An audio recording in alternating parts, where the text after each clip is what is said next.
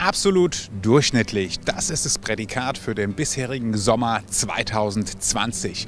Und wie durchschnittlich er war, das schauen wir uns jetzt mal an.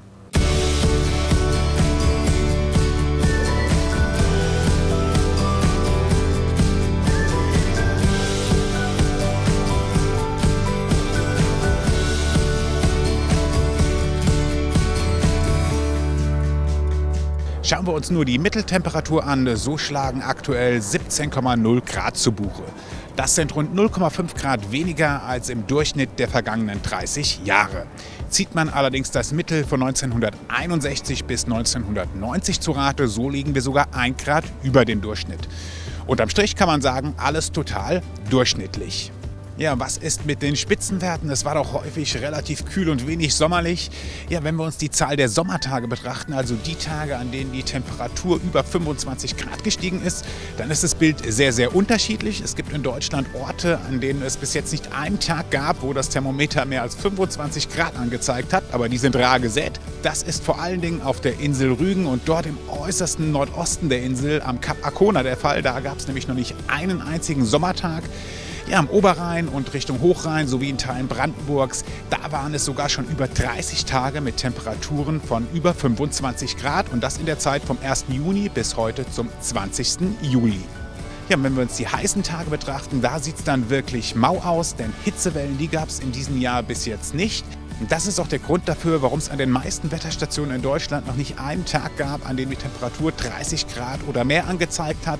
Nur Richtung Oberrhein und Richtung Brandenburg und Sachsen, da gab es Orte mit fünf bis sieben heißen Tagen, aber eine wirkliche Hitzewelle mit tagelangen Temperaturen von 30 Grad oder mehr, ja, die sucht man in diesem Jahr bisher vergebens. Und wie schaut es beim Niederschlag aus? Ja, zumindest mal über das ganze Land betrachtet sehr, sehr durchschnittlich. Aktuell liegen wir bei rund 55 Prozent des Niederschlags für einen normalen Sommer. Der Sommer hat knapp Halbzeit gehabt, also wenn in der zweiten Sommerhälfte ähnlich viel vom Himmel kommt, dann landen wir etwa im Bereich des langjährigen Mittels. Aber das weiß natürlich niemand. Aber diese Zahl, die täuscht ein klein wenig über die regionalen Unterschiede hinweg.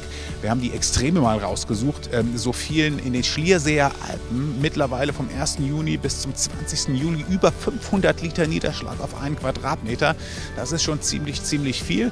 Aber es gab auch die andere Seite. So kamen rund um Mainz und in Teilen von Sachsen vom 1. Juni bis zum 20. Juli nur rund 35 bis 40 Liter zusammen. Und das ist eben viel zu wenig. Und genau das ist der Grund, warum es in diesem Gebiet, also von Rheinland Rheinland-Pfalz bis nach Sachsen und in Teilen Baden-Württembergs auch sehr trocken ist. Ja, und jetzt schauen wir nochmal auf den Sonnenschein und auch der ist absolut durchschnittlich.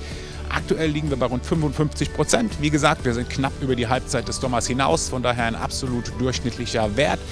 Ganz absolut gesehen, am sonnigsten war es im äußersten Nordosten auf der Insel Rügen. Da gab es mit rund 480 Stunden bisher den meisten Sonnenschein. Ja, und den wenigsten Sonnenschein, den gab es im Sauerland mit rund 270 Stunden. Ja, und am Ende, da werden wir wahrscheinlich sagen können, der Sommer 2020, der war absolut durchschnittlich. Und ja, wer weiß, wann wir das das nächste Mal über einen Sommer sagen können. Also macht das Beste aus dem freundlichen, angenehmen und nicht zu heißen Sommerwetter. Ich bin Björn Goldhausen von Wetter Online.